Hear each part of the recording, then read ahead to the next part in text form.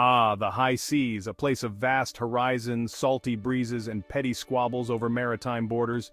Recently, China and the Philippines decided to spice up their ongoing maritime disagreement with a dash of whoops. Did we just accidentally take your guns? Diplomacy! It all went down in the South China Sea, a body of water so hotly contested it makes a pot of instant ramen look downright peaceful.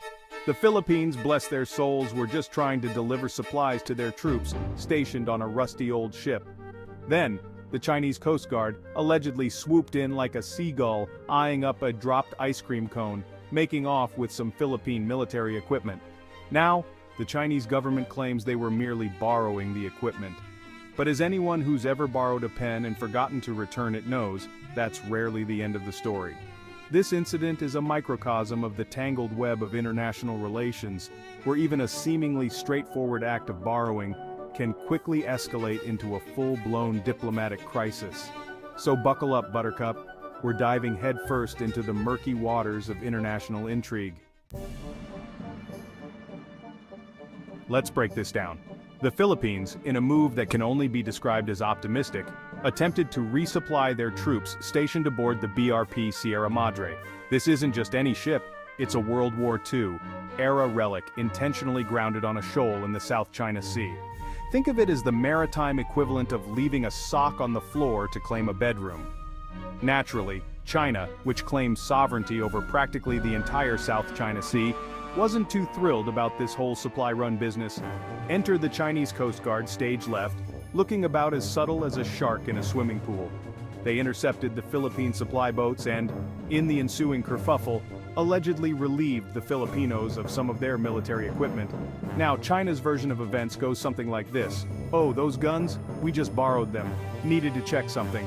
We'll be sure to return them, eventually. The Philippines understandably aren't buying it. Because if history has taught us anything, it's that when a country borrows military equipment from another country, it rarely ends well. This incident, while seemingly small potatoes in the grand scheme of global conflicts, speaks volumes about the delicate dance of power dynamics at play in the region. It's a reminder that in international relations, perception is often reality. And right now, China's actions are sending a pretty clear message. We do what we want. Let's talk about the South China Sea. This isn't just some random patch of ocean, it's a strategically vital waterway, home to crucial shipping lanes and potentially trillions of dollars worth of oil and natural gas reserves. The problem is, everyone and their grandmother seem to have a claim to this watery treasure chest. China, in particular, has gone full-on cartographic conquistador, drawing up a nine-dash line that essentially claims sovereignty over about 90% of the South China Sea. The Philippines, Vietnam, Malaysia, Brunei and Taiwan all beg to differ of course. The South China Sea has become a geopolitical pressure cooker, with everyone vying for control and no one willing to back down. The result?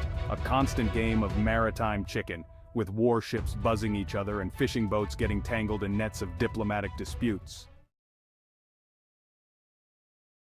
China tries to paint a picture of itself as the benevolent guardian of the South China Sea, they claim their intentions are pure, their actions justified, they're just trying to maintain peace and stability they say, while simultaneously building artificial islands and deploying a flotilla of Coast Guard vessels. The truth is, China's actions in the South China Sea are all about one thing, power. They want to control the shipping lanes, the resources, and the narrative. This latest incident with the Philippines is just another example of China flexing its maritime muscles. Now I know what you're thinking, John. Is it possible just maybe that this whole gun borrowing incident was just a big misunderstanding? A clerical error perhaps? And to that I say, well, this is international diplomacy we're talking about so sure, anything's possible. Maybe someone in the Chinese Coast Guard misplaced the paperwork. Maybe they thought they were confiscating water guns, maybe they just really needed a new set of binoculars and got a little carried away. Or maybe, just maybe, this was all part of a cunning plan, a way to test the waters, so to speak, and see how far China could push without triggering a major international incident, because in the wacky world of international relations, sometimes the most outlandish conspiracy theories turn out to be the most plausible. So, where does this all leave us? Well, pretty much right where we started, on a planet hurtling through space, governed by nations that often behave like toddlers in a sandbox, fighting over toys and refusing to share. Diplomacy, it seems, is a fickle beast. One minute it's all handshakes and treaties, the next it's warships playing chicken and accusations of stolen military equipment.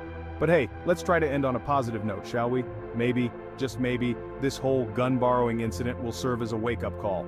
A reminder that in the 21st century, we can't just go around taking what we want and expecting everyone to be okay with it. We need to find a better way to communicate, to cooperate, to coexist. Just remember to hold on to your hats, folks, because it's about to get bumpy.